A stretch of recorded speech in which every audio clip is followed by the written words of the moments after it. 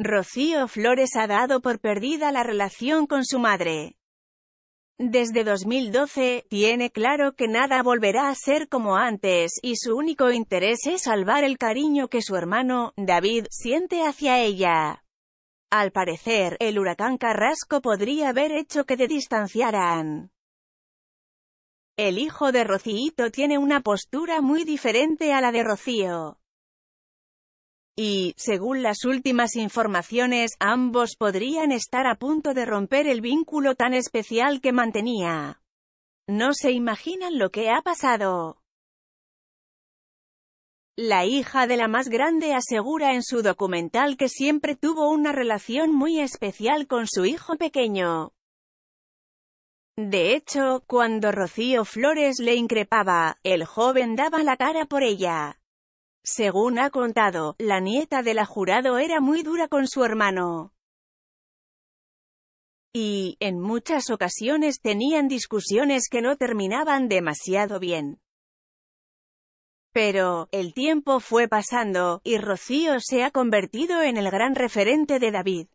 De hecho, aceptó concursar en Supervivientes 2020 para pagarle sus estudios. Sin embargo, el huracán Carrasco podría estar deteriorando este vínculo. David tiene una postura muy diferente a la de su hermana. Y, no sería de extrañar que tuvieran ciertos problemas para entenderse. Según ha salido publicado en La Razón, el nieto de la jurado le ha exigido a Antonio David Flores ver el documental de Rocito.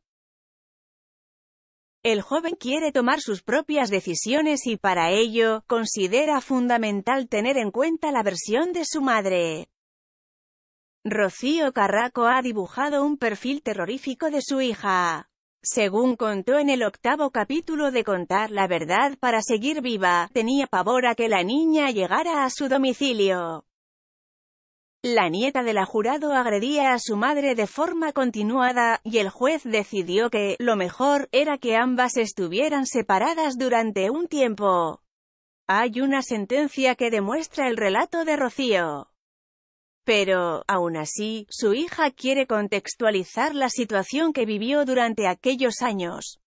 Por ese motivo, supuestamente, están negociando con el programa de Ana Rosa para vender su testimonio. El periodista Gustavo González asegura en Sálvame que Rocío Flores está negociando una entrevista con Ana Rosa Quintana. Según él, no pretende sacar rendimiento económico, por lo que podría donar el dinero a alguna causa benéfica. Las negociaciones están muy avanzadas. Al parecer, la nieta de la jurado estuvo reunida durante tres horas con sus responsables y su único objetivo es salvar la relación con su hermano. Gustavo González asegura que la joven está muy preocupada por lo que David pueda pensar sobre ella.